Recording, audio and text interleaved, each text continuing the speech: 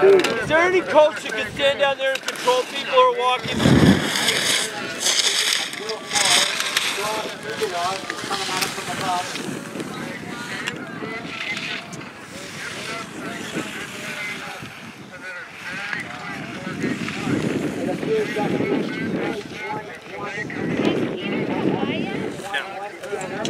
No.